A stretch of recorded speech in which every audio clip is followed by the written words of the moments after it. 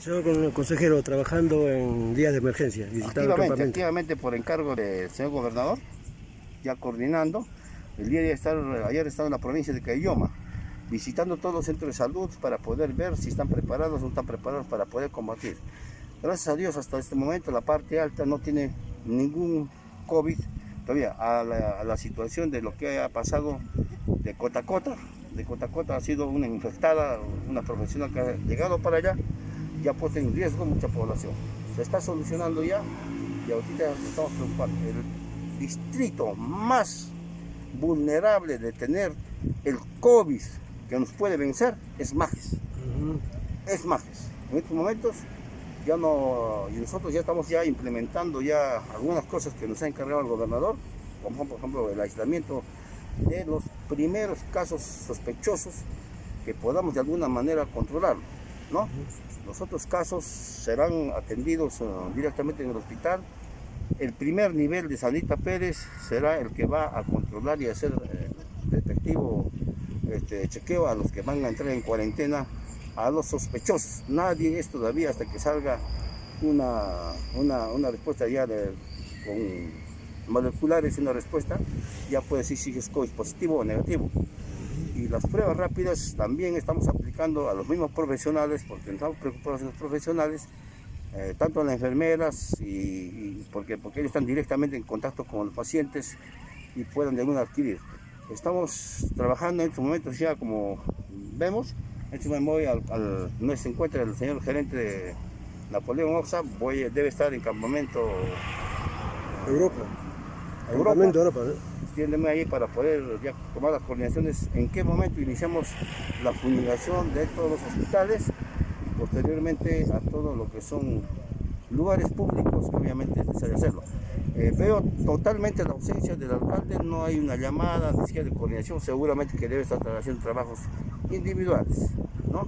Eh, respeto su estrategia, pero sin embargo, con lo que ha sucedido el día de antes de ayer, yo estoy preparando una demanda ante la Fiscalía de, de Arequipa para poder dar a conocer de que aquí hay un total incumplimiento de la autoridad local y autoridad representante del gobierno central en lo que es referente del cumplimiento del decreto 044 que tiene que cumplir un protocolo al 100%. Según se dice que faltaría más policías, más militares, porque la gente como que no hace caso a las órdenes policiales, continúan tomando hasta regidores El señor prefecto no tiene por qué estar preocupando por cosas, su, obligación es velar por la seguridad de los ciudadanos.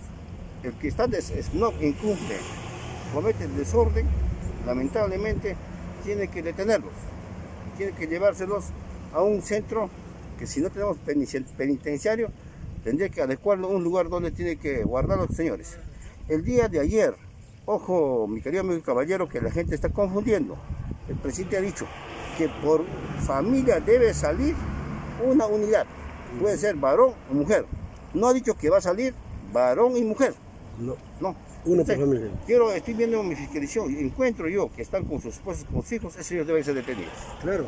Eso lo hace él estrictamente el señor el prefecto conjuntamente con las Fuerzas Armadas y las Fuerzas Policiales. Si no nos hace caso a ellos, la, la, sanción caería en el señor comandante, porque ahorita en, este caso ya no está el gobierno regional la responsabilidad de la lucha contra el COVID, sino por la, está por la tercera región militar de las Fuerzas Armadas de Arequipa. Y el Ministerio Interior también. Así es, entonces la Policía Nacional también, entonces en ello está. Por lo tanto, hay que hacer las uh, correspondientes casos y el alcalde está en la obligación obligación de poder hacer la coordinación con todas las autoridades y ese logístico de gastar en algún momento de, momento para poder solucionar problemas. Veo la ausencia total de los alcaldes del Consejo Menores. Acabo de llegar de Cailloma. Los alcaldes distritales han cerrado con tranqueras y sus tranqueras están funigando a las personas que salen y entran. Aquí, tierra de nadie. Dios nos salve, mi querido amigo. Entonces habrá que decir que se declaren emergencia Majes por la falta de que la gente no acata la orden y tampoco hay... No es que no ataca, no acata. No los han acatado las autoridades. estamos, de, estamos de más. Algo más que hay que decir a la población. El trabajo del gobierno Conciencia, por favor, conciencia. Hoy día no vale tu, tu estómago que te lleno mucho. Mira tu comida y come poco y come algo nutritivo. Nutritivo. Nada de lo que es chatarra. ¿sí? no salgas de tu casa. En la calle está el COVID andando por todos sitios.